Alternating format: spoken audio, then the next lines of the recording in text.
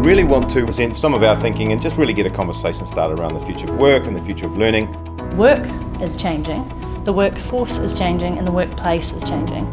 Automation allows us to have more energy for actually looking at what we are uniquely designed to do, which is be human. This is skills like creativity, empathy, intuition, imagination, and these are roles where coaching, therapy, leadership, facilitation, consulting are all going to become even more important skills. I'm going to share a few real life examples of how we have used technology to help uh, some of our clients create a more engaging, immerse, immersive learning experience for their employee and for their workforce. I think it's important that we bring what we do back into the learning design field because sometimes we see technology and we've got learning culture, the future of work, but then how do we start then incorporating those things in what we design tomorrow?